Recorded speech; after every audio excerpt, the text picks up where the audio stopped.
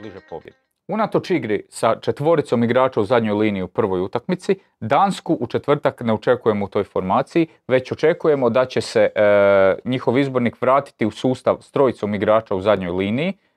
dvojicom zadnjih veznih, e, gdje e, Danska ostvaruje prednost u početnoj fazi otvaranja igre, gdje sa strukturom 3-2 u tom otvaranju imaju prednost pred suparničkim presingom, te imaju opcije nastavka progresije napada u centralnu zonu. Druga specifičnost danskog 3-4-2-1 sustava su međulinijske zone koji danci pokušavaju iskoristiti. Naime, centralni napadač okupira dvojicu e, suparničkih stopera te omogućuje dvojici e, igrača da e, u ovim zonama kreiraju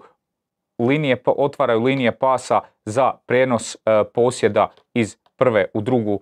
fazu istog. Te e, je vrlo bitno hoće li se e, hrvatski izbornik Dalić odlučiti na e, igru sa dva zadnja vezna gdje će donekle onemogućiti, odnosno otežati takvu igru danaca ili će se odlučiti na igru sa Brozovićem, Modrićem i Kovačićem nekoj od ovih varijanti sa jednom šesticom i dvije osmice, gdje će ipak Brozoviću biti malo teže kontrolirati te zone i gdje će svakako trebati pomoć jednog od e,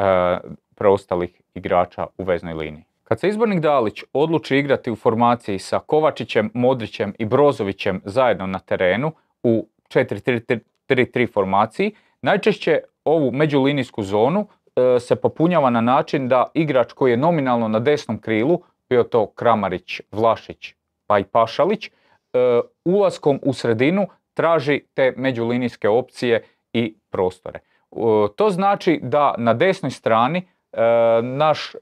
desni bočni igrač, recimo Josip Juranović, će zapravo imati situaciju jedan na jedan sa danskim wingbackom, očekujemo da će to biti Mele, te za ishod cijele utakmice će vrlo bitno biti koji od ta dva igrača će se nametnuti jedan drugome, bilo ofenzivno, bilo defanzivno.